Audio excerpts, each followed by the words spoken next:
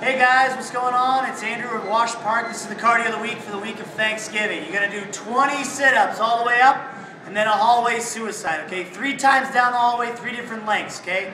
Four rounds as fast as you can. Good luck and have a happy Thanksgiving, guys.